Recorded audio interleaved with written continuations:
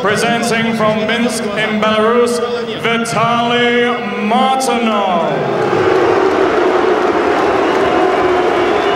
Presenting from Bolton, the undefeated Amir Khan. Shake hands, best of luck to both. Away we go, six rounds.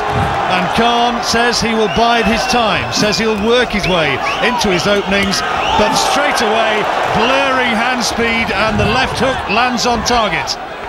Khan trying to create the angle straight away, plenty of mobility.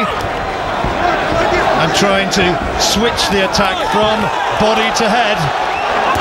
It's a good start from both boxers. Khan's got off to a nice snappy start. Knows he's going to have to use his ring generalship, box his way in, because he's got a kid in front of him that at least can jab well, throw the right hand reasonably well.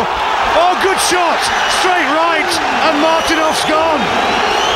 He's on wobbly legs, and Khan found a terrific straight right hand, and Martynov is blinking, and the fight's all over in the first round.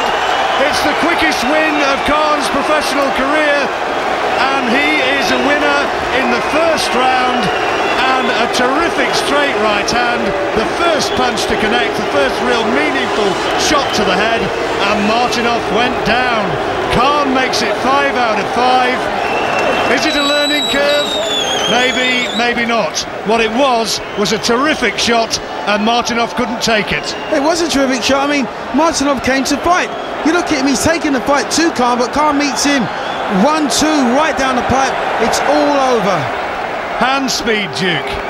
It he was- unravelled him with two lefts and then that right hand, and that was not only fast, right on the button. It was right on the button. I mean, Martynov did look somewhat nervous at the pre-fight um, instructions. However, he got off to quite a good start, but had no answer to Khan's